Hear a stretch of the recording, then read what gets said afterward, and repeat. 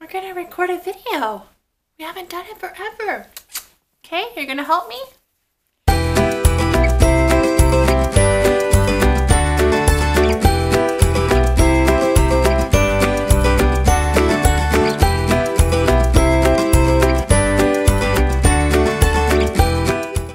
Hey guys, so I am finally coming back and I feel like the past few videos I've made have started with I'm finally coming back.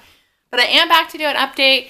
I have lots of information for you guys and just a document for us because there's just been so much going on in this last couple months. It's crazy. So last time I talked to you, he was about two months. I did a two month checkup with him. We were getting ready to go to Kansas for the first time with him flying.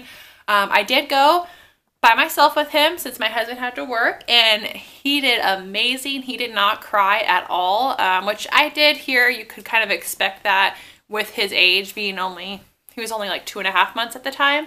Um, but he did so good and the air flight attendants they were so so kind. I did fly through southwest which we usually we usually do fly through them because i love them.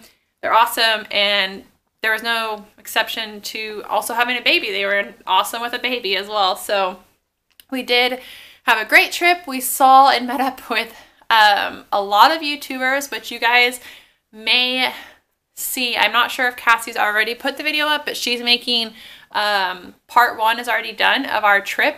She vlogged and put together um, a video for us and for all of you guys to see um, of everybody that was on the trip. So if you want to see who all we met up with and how it went and just some of the fun stuff we did, then you should go check out Cassie Moon's channel, which I will put that link below.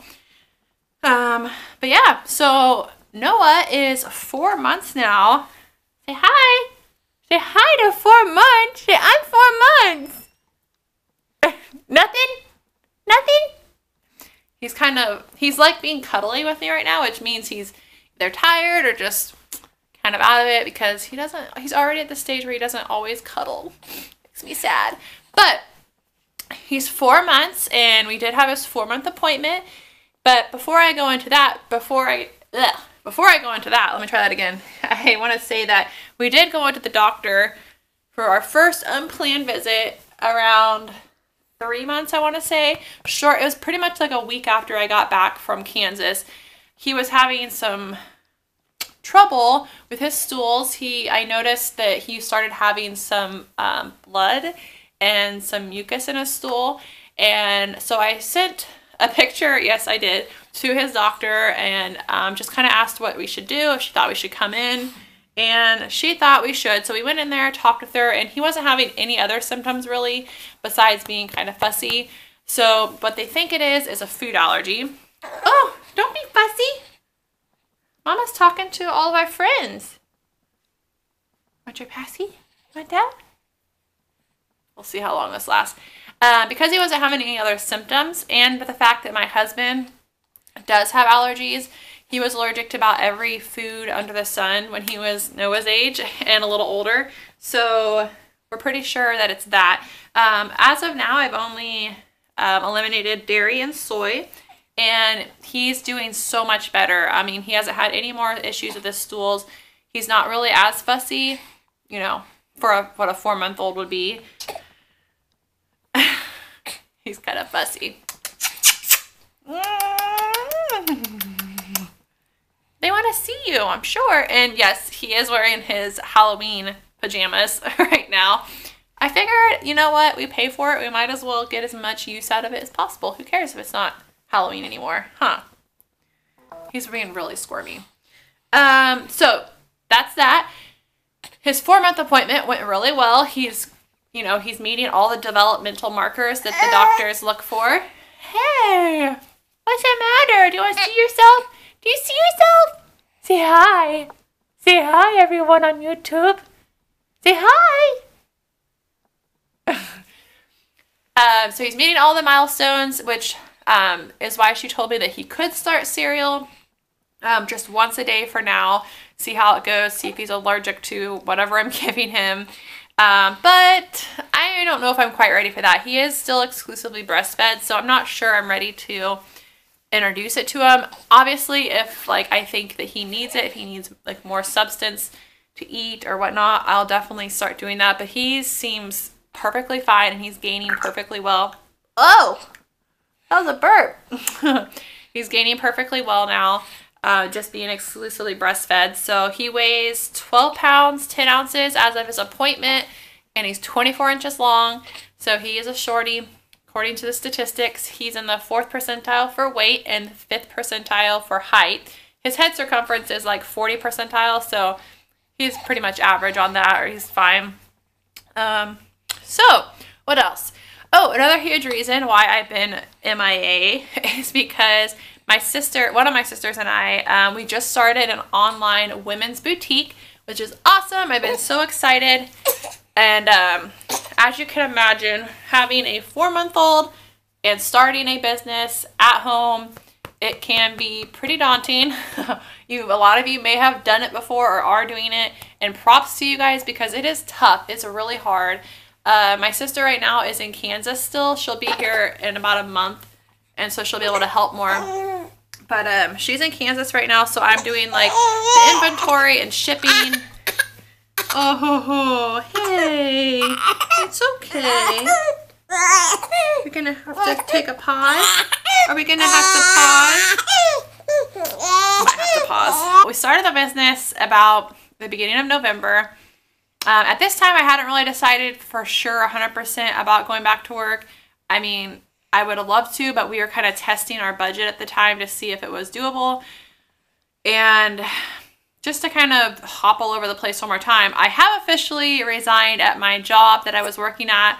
Um, it was sad. I was sad to leave in a way because I had been there for almost, was it four or five years?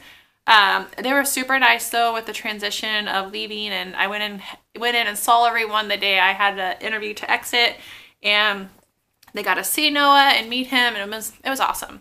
But anywho, we started the business about a month ago, um, and at that time, I was like thinking about like, am I gonna be able to stay home with him and do the business and take care of him, or am I gonna have to go back to work and run the business and take care of him? Uh, but I'm just thankful that I was able to stay home, and we will see that how this goes. Um, it's really, it's been a really great experience so far. It's been stressful, but it's been awesome. Uh, we're doing women's clothing right now, but eventually we want to integrate like um, either like mommy and me clothes or just you know children's clothes in general.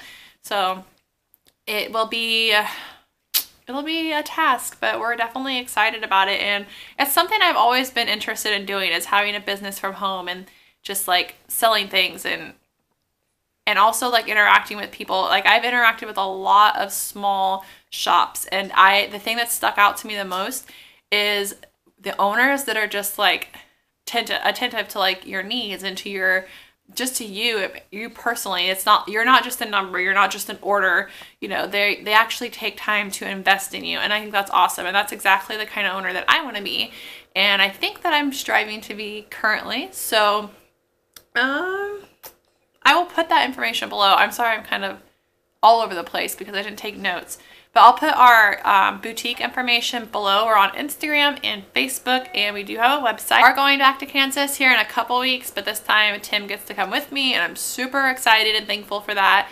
Um, he will get to experience Noah on a plane for the first time, and it will probably be a lot different because, um, you know, Noah's now bigger and he is more active and he moves around a lot more so i'm hoping that we have a good experience because i've talked up i've talked it up to him like oh, he does great. He's so good on the plane. He's awesome.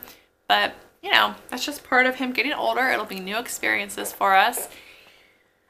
So, yeah, we're going to be home for Christmas and hopefully we'll have a great experience. I'm excited to see all my family again and just for more people to get to meet Noah and spend time with him.